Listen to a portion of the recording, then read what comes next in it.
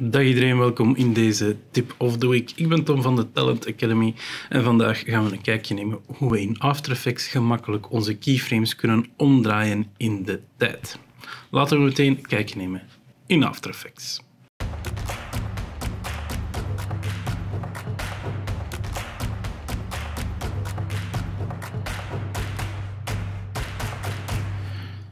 Oké, dus we zitten hier in After Effects. Ik heb hier een kleine animatie klaargezet. Um, we gaan die eens bekijken. Het is op zich heel simpel. Gewoon tekstje dat inkomt, wat shape layers. Um, dat is met een zestal keyframes geanimeerd. Oké, tot daar geen probleem. Nu, we hebben die in-animatie en nu wil ik uiteraard dat we eigenlijk diezelfde animatie, maar in de omgekeerde richting hebben om ja, hier de uitanimatie te gaan uh, maken. Nu, het eerste dat ik natuurlijk moet doen is al die keyframes kopiëren. Nu, wat kan ik niet doen rechtstreeks in After Effects? Dat is al die keyframes selecteren, kopiëren, dus command C, dan command V voor te plakken, want dan krijg ik nieuwe lagen. Dus dat ga ik even ontdoen. Wat moet je doen? Je moet eigenlijk al die keyframes apart gaan kopiëren en plakken per laag. Nu, in dit geval valt dat nog mee. Het zijn drie lagen. Uh, dus dat gaat redelijk snel, maar soms heb je heel wat uh, meer lagen en dan kan het interessant zijn dat je dat toch in één keer kan doen. Vandaar een kleine tip. Als je de plugin Duik Bessel uh, downloadt en je gaat dan bij Animation, dan heb je hier Copy en Paste. En dat laat u toe om eigenlijk alle keyframes van verschillende lagen te gaan uh, selecteren, te kopiëren en dan in één keer te pasten.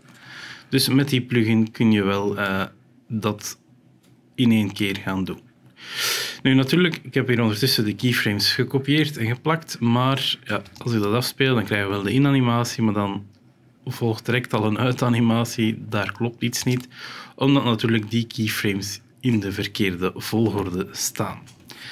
Nu, op zich is het niet zo moeilijk om die om te draaien en je hoeft die zelfs niet per se allemaal uh, zelf te gaan verslepen, die keyframes. Je kan die allemaal selecteren en dan gaan we naar Animation, Keyframe Assistant, Time Reverse Keyframes. Als we dat doen, dan gaat hij eigenlijk al die keyframes switchen van positie. Dus dan gaat hij omdraaien in de tijd. Uh, het enige dat ik dan nog moet doen, is misschien de timing een beetje gaan aanpassen. Deze moet misschien ietsje vlugger komen. Deze een beetje later. Uh, dus daar kan je dan nog wel mee gaan spelen om te zien of dat die op de juiste momenten verdwijnen of niet. Um, maar dat is het eigenlijk. Dus time reverse keyframes zorgt ervoor dat die keyframes omgedraaid worden in de tijd. Time reverse keyframes is een eenvoudige functie die zeker van pas kan komen.